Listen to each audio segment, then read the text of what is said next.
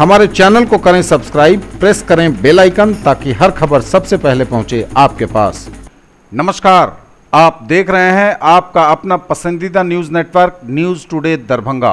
मैं संतोष झा, आप सबों का इस बुलेटिन में स्वागत करता हूँ। यह खास बुलेटिन हम इसलिए आप तक लेके आ रहे हैं क्योंकि इसमें हम यह बताने की कोशिश कर रहे हैं कि यह लॉकडाउन जो है, वह किसके लिए है? किसकी सुरक्षा के लिए है? यही लोग समझ नहीं पा रहे हैं। लॉकडाउन का आज बारहवा दिन है, रविवार पाँच अप्रैल गुजर रहा है और ऐसे में तस्वीरें जो दरभंगा से लेकर लहेरिया सराय तक नज़र आ रही हैं, पुलिस लोगों को यह समझाने में ही अपनी एनर्जी खर्च कर रही है, उसे खर्च करनी पड़ रही है यह अपनी एनर्जी पुलिस को, लोगों को यह समझाने में कि यह लॉकडाउन उन्हीं के लिए है। देश के प्रधानमंत्री से लेकर जिलाधिकारी और तमाम सिस्टम लगातार लोगों से अपील कर रहा है, मुख्यमंत्री अपील कर रहे हैं कि यह लॉकडाउन जो 21 दिनों का है, वह जनता की सुरक्षा के लिए है। कोरोना वायरस के संक्रमण को फैलने से रोकने के लिए है, लेकिन लोग इस बात को लॉकडाउन के बारहवें दिन भी समझते नहीं दिख रहे हैं।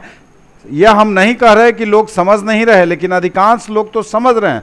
चंद ऐसे लोग हैं जो या तो लॉकडाउन के महत्व को समझ नहीं रहे, या इन चीज़ों का मखौल उड़ा रहे हैं, मज़ाक बना रहे हैं। उन्हें लगता है कि लॉकडाउन में वो निकल ही जाएँगे तो क्या होगा? उनका क्या बिगड़ जाएगा?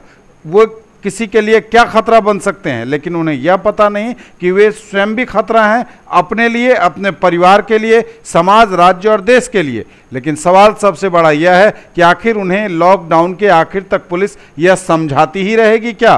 पुलिस को आखिरकार चालान काटना पड़ा ऐसे लोगों का जो निकल रहे हैं बेवजह लॉकडाउन में। बल प्रयोग करना पड़ रहा है, पुलिस को सख्ती बरतनी पड़ रही है, फिर भी कुछ लोग हैं कि मानते नहीं।